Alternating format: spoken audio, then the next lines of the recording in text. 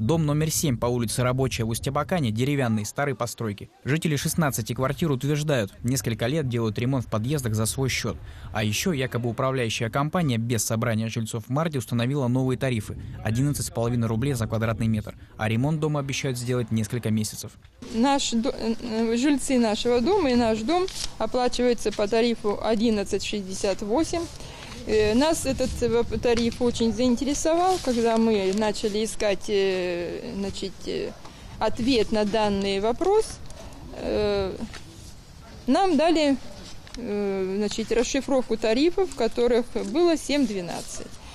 Объяснить, почему мы платим 11.68, нам тоже никто не смог.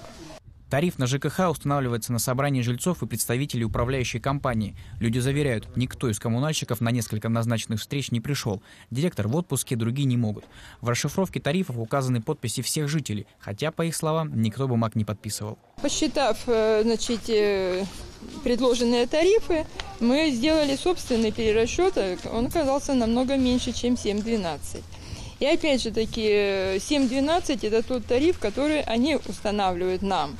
По словам жителей, в расчетном листе тарифов указаны и те услуги, которые в деревянном доме не производятся. Представители компании согласились ответить на вопросы только по телефону. В январе я им сделала перерасчет. У них был тариф э, 11,60. Я им сделала перерасчет по 7 рублей 12 копеек, как они просили.